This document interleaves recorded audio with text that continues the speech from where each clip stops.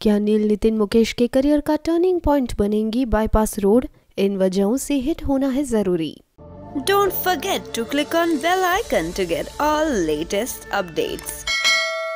Bollywood actor Neil Nitin Mukesh के fans का इंतज़ार अब खत्म हो गया है। नील की अगली फ़िल्म बाईपास रोड शुक्रवार यानी 8 नवंबर को रिलीज़ होने जा रही है। इस फ़िल्म में नील लीड रोल में है। इसके अलावा नील ने पर्दे के पीछे भी फ़िल्म को बनाने में अहम रोल निभाया है। नील नितिन मुकेश बाईपास रोड के को प्रोड्यूसर और राइटर है। उन्होंने मूवी का स्क्रीन प्ले भी लिखा है। इस फ़िल्म को नील की ड्रीम फ़िल्म भी कह सकते हैं, क्योंकि उन्होंने एक्टिंग के अलावा भी कई अहम जिम्मेदारियाँ निभाई है। अगर ये फ़िल्म हिट होती है तो नील को एक्टिंग के अलावा अन्य चीज़ों में भी कामयाबी हासिल होगी।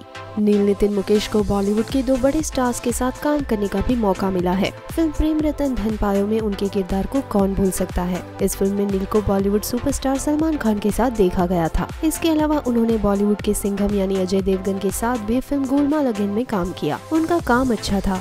लेकिन फिर भी वही सवाल खड़ा होता है कि बतौर लीड डायरेक्टर वो सफल क्यों नहीं हुए? डूबते को तिनके का सहारा। ये कहवत तो हम सबने सुनी होगी। नील नितिन मुकेश भी अब ऐसा ही इंतज़ार कर रहे हैं कि उनके इस फ़िल्म को जनता का पूरा प्यार मिले और उनके नाम एक बड़ा हिट जुड़ सके। हालाँकि अभी इस फ़िल्म को लेकर बस देखने को नहीं मिला, लेकिन इसकी फाइनल रिपोर्ट तो रिलीज़ होने के बाद ही पता चलेगी। Bureau report Indian film history for more interesting and updated Bollywood news please subscribe Indian film history YouTube channel.